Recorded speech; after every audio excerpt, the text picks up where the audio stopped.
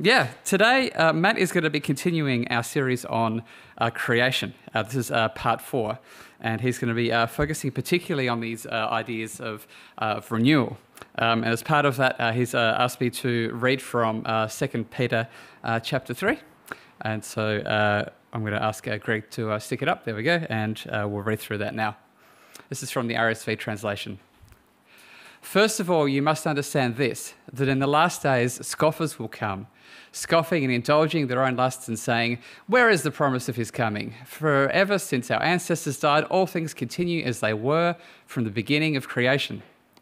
They deliberately ignore this fact that by the word of God, heavens existed long ago, and an earth was formed out of water and by means of water, through which the world at of that time was deluged with water and perished. But by the same word, the present heavens and earth have been reserved for fire, being kept until the day of judgment and destruction of the godless. But do not ignore this one fact, beloved, that with the Lord, one day is like a thousand years, and a thousand years are like a day. The Lord is not slow about his promise, as some think of slowness, but is patient with you, not wanting any to perish, but all to come to repentance. But the day of the Lord will come like a thief, and then the heavens will pass away with a loud noise, and the elements will be dissolved with fire, and the earth and everything that is done on it will be disclosed. It's a little bit dire. Hopefully, it's going to get better soon. Since all these things that have dissolved in this way, I'm not getting better yet, uh, what sort of persons ought you to be in leading lives of holiness and godliness, waiting for and hastening the coming of the day of God, because of which heavens will be set ablaze and dissolved, and the elements will melt with fire. But in accordance with his promise, we wait for new heavens and a new earth where righteousness is at home. Uh, morning, everyone. uh, again, welcome to our Sunday morning service. It's great to have you with us. Uh, just in case we haven't met, my name is Matt, and I'm one of the leaders here at MCC. This is part four of a series that we began earlier uh, in the year looking at the subject of creation care. So, over the course of the last couple of months, we've looked at uh, a bunch of ideas around creation, such as um, the innate goodness of creation. So, um, the fact that creation is good in and of itself because God, the Creator, deems it or judges it as being good, innately good, regardless of any greater purpose that it serves for humans. So, we looked at that. Uh, we looked at our, our place as humans in relation to the rest of the created order. So we looked at the fact that we are creatures, we are fellow creatures, but at the same time, there is something different and distinct about human creatures. That is, we're made in the image of God as opposed to the other creatures, and we've got a bunch of unique responsibilities towards or for the rest of creation as well, having been made in God's image. And last week, we looked at the interconnected uh, relationship, or if you like, the kind of the intertwined fate, if you like, between humans and the rest of creation, and some of the detrimental effects that humanity has had on the rest of creation through history. So that's a quick summary of where we've been um, so far. This morning, for part four, I want to look at a pretty unique and specific issue that is related to creation care. Now, the risk is that this, this topic may almost sound like it's really niche and academic. But I think, and I'm going to argue, that it's actually very important for all of us in relation to how we go about treating the rest of creation day by day. So I'm going to try to pitch the problem in two ways, if you like, two ways. So first of all, I'm going to present the problem or the issue as an idea, and then I'm going to try to illustrate it via a story, if you like. So, so here's, here's the problem as an idea or the issue as an idea. I think, regardless of how much someone acknowledges that creation is good, that it has innate worth, despite how strongly someone may believe that they have a God given responsibility to care and cultivate creation, the same person who believes those things will find it incredibly difficult to act, to act in a manner consistent with those beliefs if they also believe that God is eventually going to destroy all that creation and begin again. That, I think, is the issue or the problem. So, to put it another way, imagine that you're young, if you have to imagine that you're young, and you've got a uh, you've got a rich, distant uncle, and he gives you a house. So this is a fairy tale, obviously, right? So he gives you a house. And the house is like a 1900s hydro house. So, you know, it's weatherboards and asbestos. But it provides you with shelter. You like it. It's your first ever house, it's special. And the rich, distant uncle tells you repeatedly look, this place has character, it's got personality. It's worth something beyond the fact that it keeps you dry and warm. They don't make them like this anymore. It's got innate worth, so look after it and keep up the maintenance. That's what he tells you. And you think, okay, well, like that sounds good. And that sounds logical. It's consistent as well. And it provides me with a logical, consistent motivation to look after the place. But then, the same rich uncle comes back and adds, look, by the way, sometime in the future, we're going to bulldoze this shack down and build something really good in its place, okay? I'd suggest that that will cause some cognitive dissonance. So, on the one hand, it's saying creation is good, the shack is good, we need to care for it. But you're also telling me that it's going to get scrapped and replaced by something in the future. I think it's going to be difficult to consistently act in a way that's good for the rest of creation if I suspect in my heart of hearts that creation is going to be done away with and replaced anyway. And not just replaced by anyone, but replaced by God, no less. Now, does that make sense so far? That's painted the picture okay. So that's the issue and the problem that we'll be looking at today. And I'm going to again argue that it's a real problem because there are parts of Scripture that can be easily and understandably read as teaching that creation will be, in fact, destroyed and replaced. And there have been numerous famous and popular Christian books and movements that have also peddled the idea that creation is inevitably going to be brought to the brink of destruction, if not, entire, if not entirely destroyed. And that kind of idea can breed a lot of pessimism. So, this is an example from the 70s. The late great Planet Earth sold millions and millions and millions of copies. And in more recent times, the, the entire Light Left Behind series. Again, a lot of people believe this, and at least on face value, it looks plausible from what we read in Scripture. That passage that Tim read out before was a good example, and it's a reference, it's a regular reference that people who believe this line go back to and quote. So, why bother being good stewards when the whole thing is just going to burn anyway? And just as importantly, why I think this is an issue, it can be a barrier for people exploring Christianity. If they've done their homework, they would have come across these passages and these ideas. And if they have any kind of environmental conscience, they'll be asking questions about the fate of creation. What does the Christian God have planned for it? So, this issue it matters. So, today we'll be looking at it in three parts. Firstly, is creation as we know it going to feature at all in the next age? And when I use the term next age, I mean the, the age that's going to be inaugurated by Jesus' return to earth and the kingdom of God being fully and finally ushered in. That's what I mean by next age. So, will creation somehow feature in that next age? And then the second part, assuming that it is going to feature, how? How will it feature? How will that come about in the next age? And lastly, what may some possible implications be? So that's where we're going today. Okay. So the first thing is the rest of creation, as, as in besides humans, going to be included in the next age? I think so. But like humanity, it needs to change in order to exist in that next age when Jesus returns and the kingdom of God is fully realized. It needs to change because, as we saw last week, creation is currently compromised. So, that passage from Romans that we looked at mentions it being in bondage to decay with a promised future of liberation and freedom. So, it's going to be able to eventually um, be its full and true self and glorify God completely. But that's all just from that one passage in Romans. Is there anywhere else in the New Testament that mentions creation in the next age? Well, there's Paul's relatively famous term, new creation. New creation.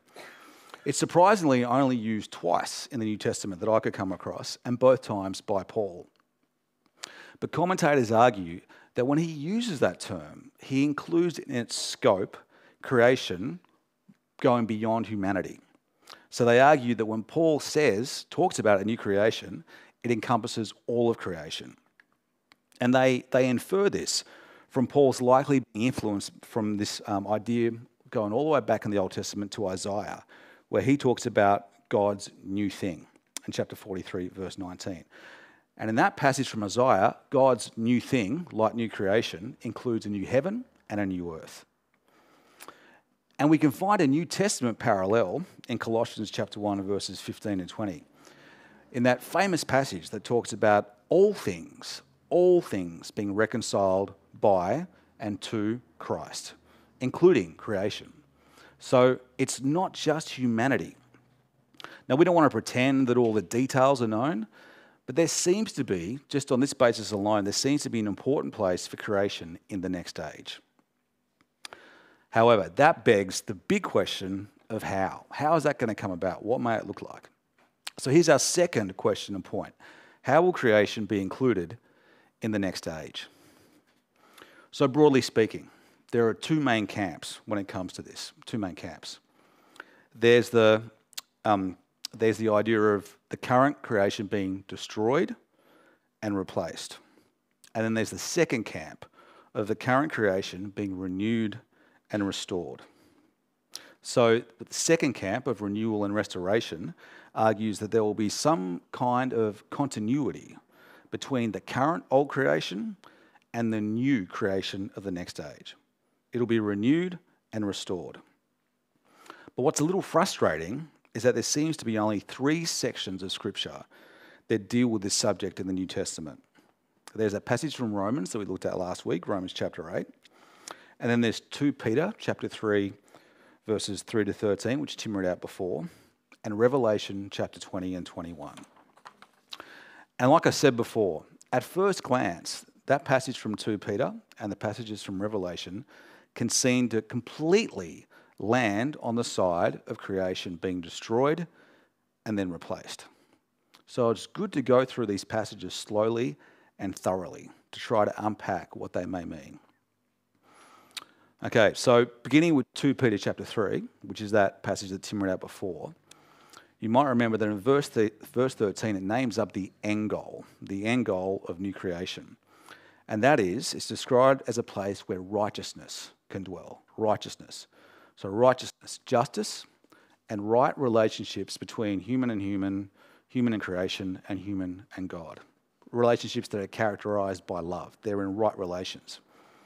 So, to reach this state, evil and sinfulness need to be judged and eradicated. And here's the important point evil and sinfulness need to be judged and eradicated, not creation itself, which instead needs to be redeemed and set back to its original purpose. So that's the first big point. But again, that seems hard to reconcile with verses like um, verse 7 in that same passage, where it talks about the present heavens and earth have been reserved for fire. Reserved for fire. That's from the NRSV version. And the term fire or a blaze are also mentioned in verse 10 and 12. And this is pretty heavy. Again, this is pretty serious language.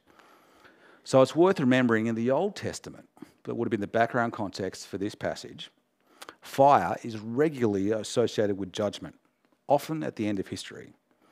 And critically, again, this judgment is only concerned with people, not the rest of creation.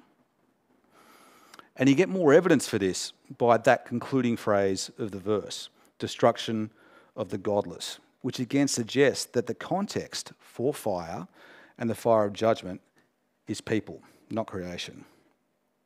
And a lot of commentators stress that this is imagery, it's poetic imagery, not to be taken literally.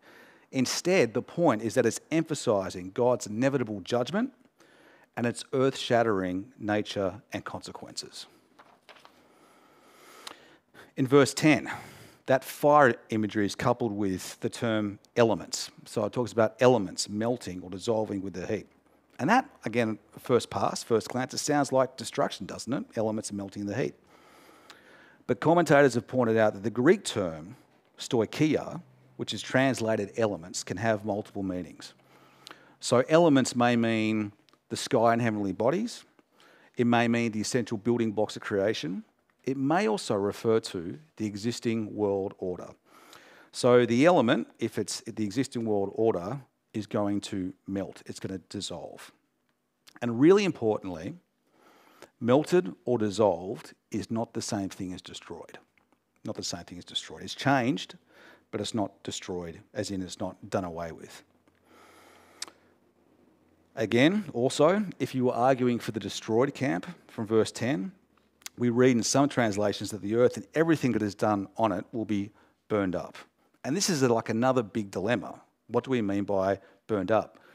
More recent translations instead say things are disclosed, or they say things are laid bare, or they say that things are exposed, or found, or even made manifest. And that, those, that cluster of meanings seems to correspond well with the early idea in verse 10 of the earth, of the elements being burned up to reveal, to reveal things, reveal what's been done on the earth, the deeds done on the earth.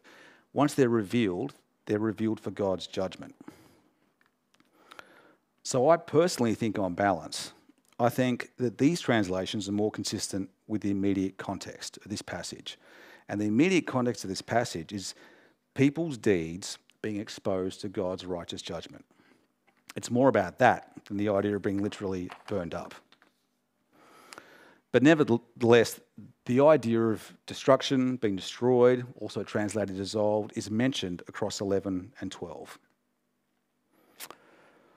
Um, but interestingly, and this is the last point in this section, the New Testament Greek term apoleia, that is rendered or translated destroyed or destroy, can also mean no longer useful or fit for purpose or it can mean something's been reduced to its components. And again, this is significantly different from what we tend to mean when we use or think of the notion of utter destruction. And really critically on this point, in verse 6 of this same passage, the author quotes the great flood of Genesis in verse 6. And crucially, even in this catastrophic judgment event, the entire earth wasn't destroyed. The earth survived, and neither was all creation annihilated.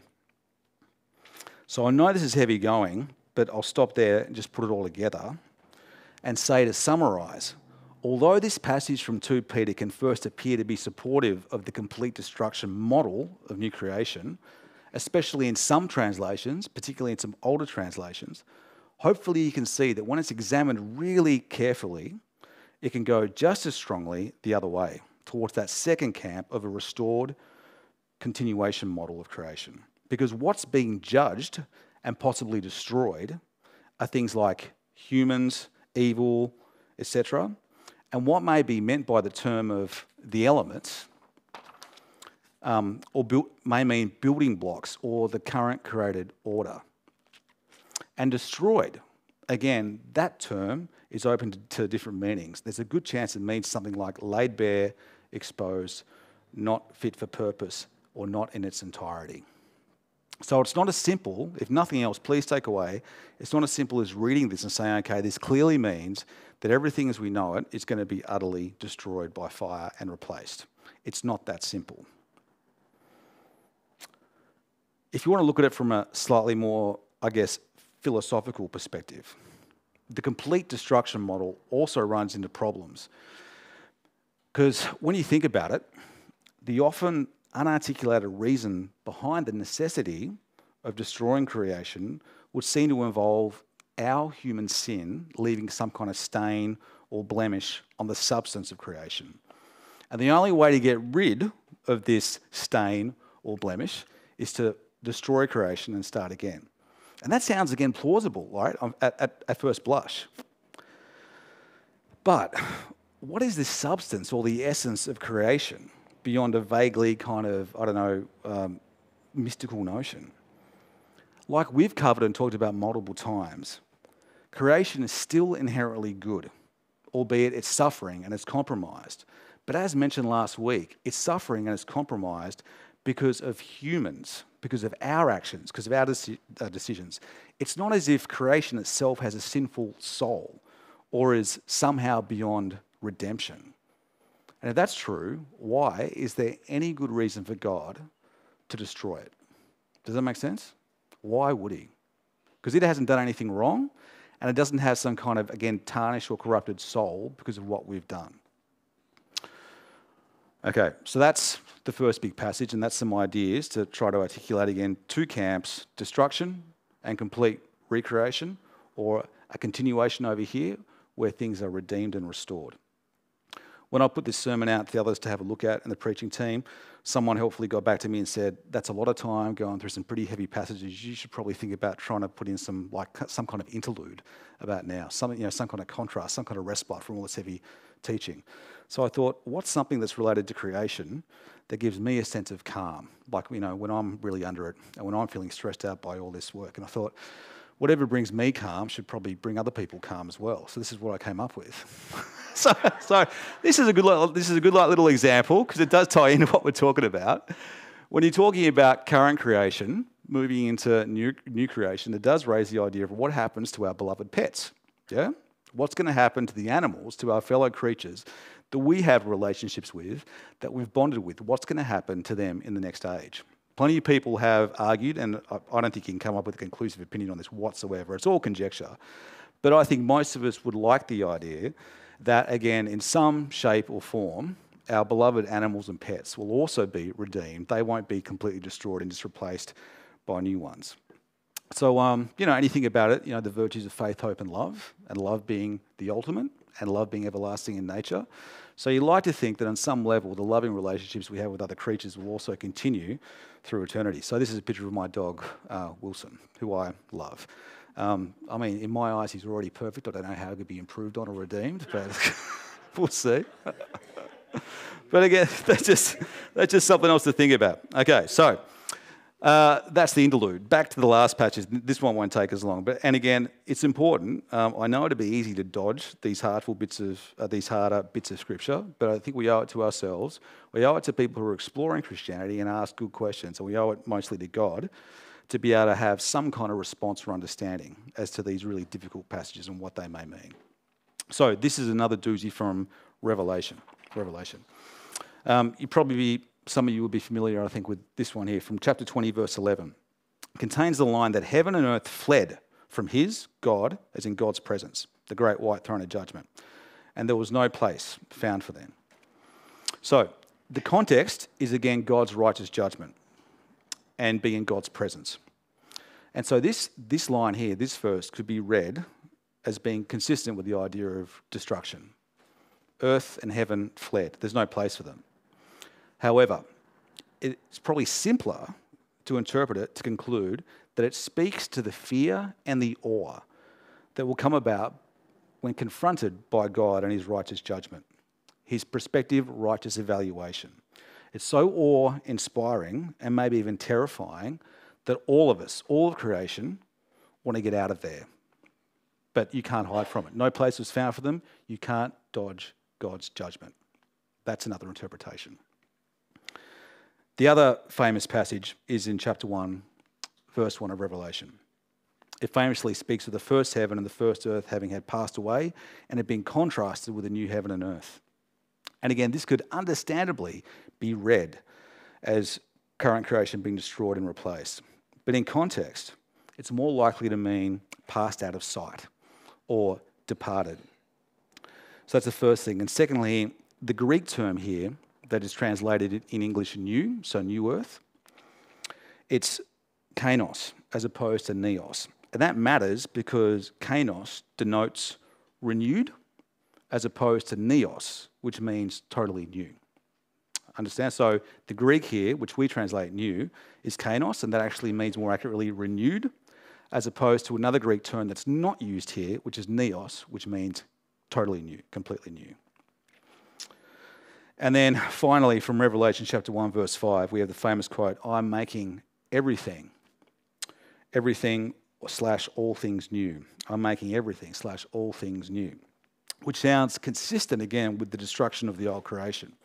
However, I'm making everything new is a very different sentiment than I am making new things.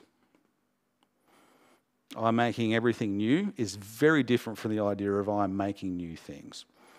So I'd argue that John, the author's point here, is more about renewal than destruction. So to sum all of this up, scriptural evidence from 2 Peter that Tim read out before and Revelation, a couple of passages that we looked at there, especially when coupled with Romans 8 and the Old Testament, I think speak to creation in the new age having a place and being transformed. It'll be a transformation of the current creation. That's what I currently believe. And this redemption and renewal of creation is significant because it points back to God's original declaration that creation was good worthwhile. It has innate value. So, going back to my original example, this would suggest that reality is the equivalent of that distant and rich uncle giving you the old house that is far from perfect but is still good and ask you to look after it and treat it well because it's good. But consistent with looking after it now, he's eventually going to restore it. He's going to make it even better. Or if it helps, think about our renewed human bodies in the next age. Jesus, who was fully human, had a renewed body after his resurrection, and we're promised the same. Jesus' renewed body was different from his old pre death body, but critically, there was still something recognizable about Jesus' resurrection body. There was some, somehow, there was some continuity between his body before and after resurrection. Does that make sense? So there's a principle there of, again, things not being completely new, but redeemed, restored, if you like, improved, but still some degree of recognizable continuity there. And, again, this makes sense as we're told in the New Testament that our bodies and what we do with them matter. It's another example of God caring about creation. Okay. Um, a couple of quick, quick things just to think about in light of all this. First of all, these ideas are argued about, they're contested. Those two camps are believed by people who are faithful Christians on both sides. So I don't want anyone walking out of here thinking this is a cut and dried, simple issue. It's not. It's not. So, again, I would personally argue that it's important to have an answer for now that is maybe tentatively held, if that makes sense. It's good to have a response when people ask you questions about what does your God think and plan for creation in the next age. I think it's good to have some response to that. That's the first thing. Secondly, we talked about how if you believe the whole thing is going to be um, done away with, annihilated, and something new is going to be put in its place, it's easy to get pessimistic and fatalistic in the face of that about how we currently treat creation. I think it's just as easy to get passive about our stewardship of creation now because we think, oh, like it doesn't matter because God's going to fix it up and renew it anyway. So this is not an excuse, if you believe this, the idea of restoration and renewal, again, just to get passive and take the hands off when it comes to stewarding creation. Instead, it's a call, a repeated call to partner with God and participate in his renewing of creation, starting from here and now. But that also leads to the final question what kind of people can partner with God? And that gets back to that passage that Tim read where Peter asked that very question Given all of this, what kind of people should you be? And his answer godly and holy.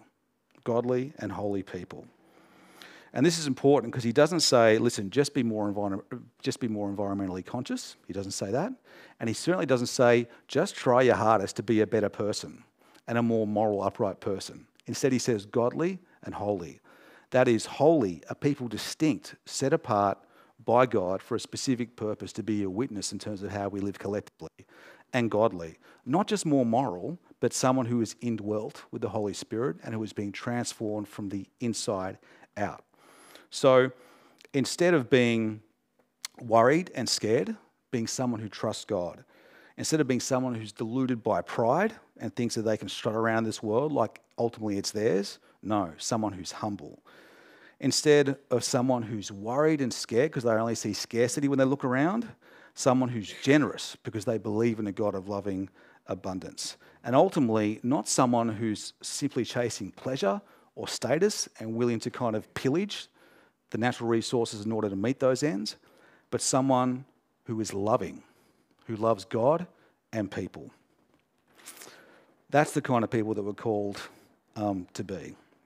So we need, again, to be renewed humans in order to better look after a renewed creation. So let's pray for that. Father, um, once again, I thank you for uh, your word, your revealed word in Scripture. And I pray that um, you will help us when it comes particularly to tricky passages like this. Help us be um, humble and dependent on you and your spirit and the gifts that you've given us around our intelligence and our cognitive capabilities and all the resources that have come down from the past. Help us, help us be, um, again, uh, diligent, hard workers when it comes to grappling with these ideas, but also people who have the humility to know that ultimately we can't be 110% sure about something like this but we need to hold it tentatively, and we need to always be relying upon your spirit and your discernment and your guidance. I pray that um, you'll give us fortitude, though, uh, when it comes to the things that we can be certain about. So help us be loving uh, protectors and cultivators and cultivators of your creation. Help us take that responsibility seriously, and also help us see it for the joy that it is. But most of all, I pray that you'll continue to work in us from the inside out, transform us, Father, into people that are characterized by love. Love, first and foremost, for you, and then love of neighbor. And I pray that um, through our changing hearts, through our changing inward dispositions, more and more will be, um, again, just better stewards, better caretakers of your creation. So, um, again, Father, help us be people that just desperately want to be conformed to the character of your Son. Help us more and more through your power and strength and with the assistance of each other. Help us become the individuals that you want us to be, that again, in our own unique ways, are going to be characterized by the character and the love of Jesus. Amen.